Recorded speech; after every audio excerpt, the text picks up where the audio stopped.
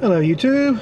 Well, I thought I'd do a quick video of uh, my car and how it's all going. It's not doing too bad.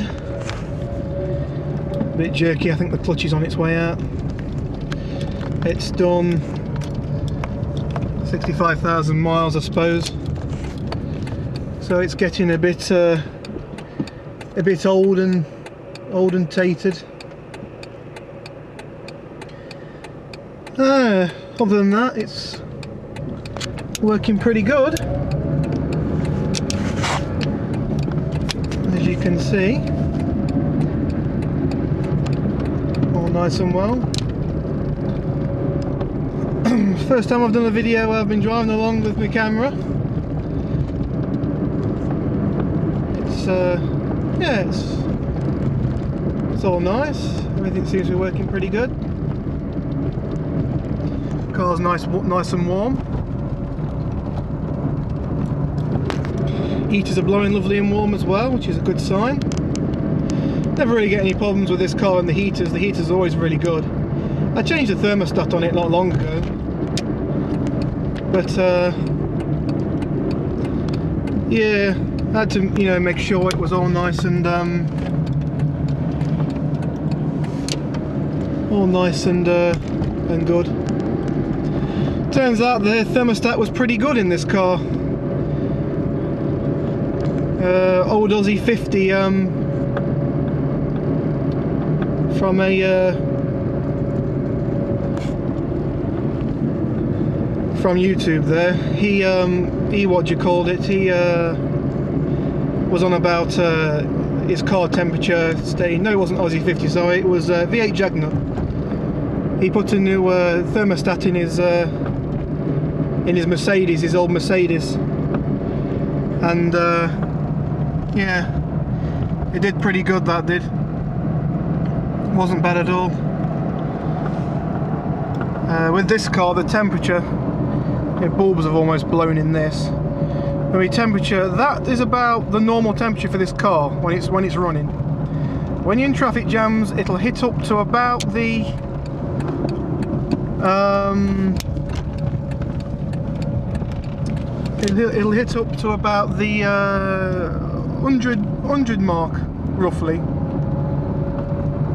But yeah, it's uh, it's pretty good. Anyway, getting close to home, so I best uh, turn the old uh, camera off. Thanks for watching, guys. Peace out. Yeah, all back home, nice and good. See if we can get these bulbs to work, shall we? Come on. They're all there somewhere. And they don't blow because they're LED. There you go. They won't blow because they're LEDs.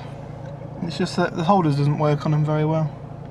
Same as that one. That one goes off sometimes. The heater control. That's lovely and warm. That is.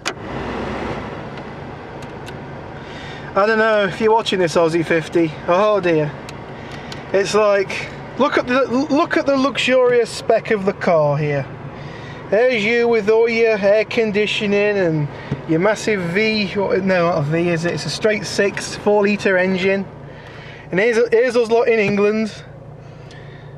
Know, we class our two, our 2 litre cars as a big car, a big engine. You know, and uh, yeah, mine's a luxury just to have electric windows, which are very slow in this. But hee I had a spare bulb lying around, an LED which uh, which flashes. And it's good because when you when you're driving, you can't see it, so it doesn't annoy you. But when you want to check, open and close your window, it's it's there. Uh, CB works. Anybody on? No doubt there'll be someone on being an idiot. Very very bad CB, but it works.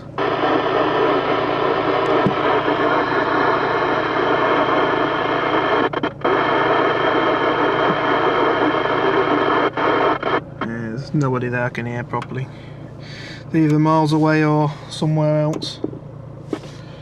But I've got that. There you go, there is someone there. But uh, hey, I've got that hooked up to the uh, the switch that my warning beacon was on, which is on the floor down there. That works all pretty good. I can put my bottom lights on now. There you go. Now you can see it. Yeah, and the poor camera doesn't know how to focus those in. That's quite dim in there. There you go. It looks good. Red, green, red. All well and good. My clock's all nice. Turn my lights off and it goes brighter.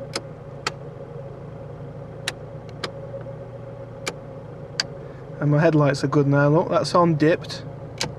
That's on main. That's on full beam, sorry. That's flashing. So they all work really good. Yeah. She's running lovely.